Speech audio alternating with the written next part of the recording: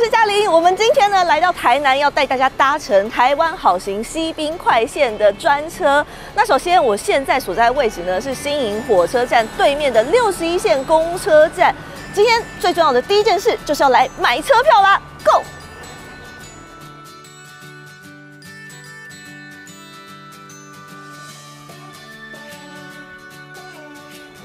这个就是我今天的一日游票券。那我们今天呢要搭乘的西滨快线，可以看到，呜，一共呢会有经过十三个景点，而且其实下面都会有一些时间，但是要特别注意哦，因为有时候这个时间会有些变动的，所以记得要锁定官网的最新资讯哦。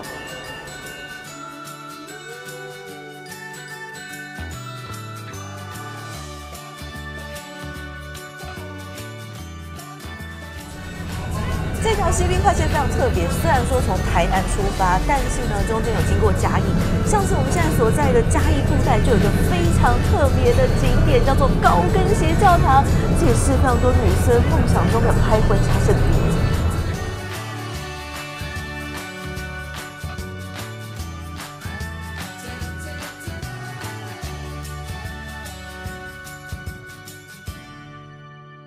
我们现在所在的地方呢，就是全台湾最大的王爷信仰中心——南昆生代天府。这里在日治时期经过重新修整，在石雕、彩绘、剪年上皆展现了高度的工艺水准，而被评为国定古迹。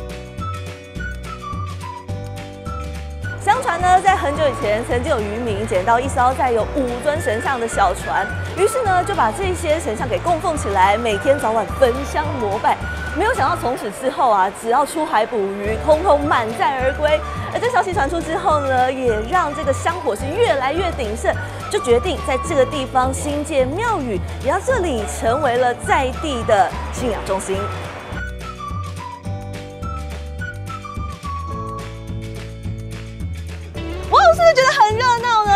要提醒大家哦，每年的十一月呢，其实庙方都会举办平安延祭的活动。如果有兴趣的朋友，也可以一起来共襄盛举。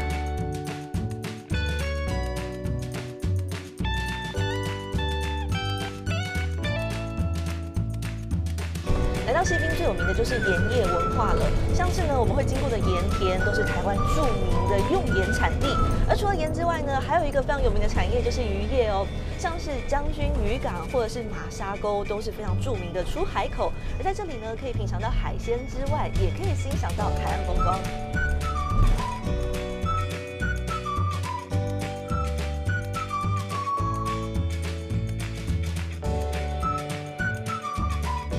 我们现在来到的是七股盐山，这里呢是台湾史上规模最大的晒盐场，同时呢也是台湾工业用盐的生产中心。近几年更是转型发展观光产业，所以呢园区有非常多的 DIY 设施之外，也有些游乐设施，非常适合带小朋友来哦。那现在走，跟着我一块来爬盐山吧，Go！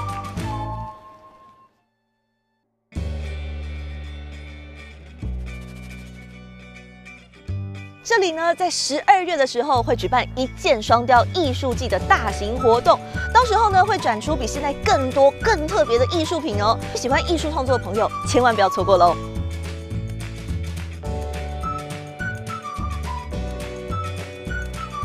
真的是非常充实的一天，除了体验到了庙宇文化，也在七股盐山拍了很多奇迹美照，是不是觉得意犹未尽呢？其实呢，透过了台湾好行西滨快线的接驳公车，除了省时之外，也省了不少体力，所以希望之后还有机会继续开箱更多好玩的景点哦。我们下次再见，拜拜。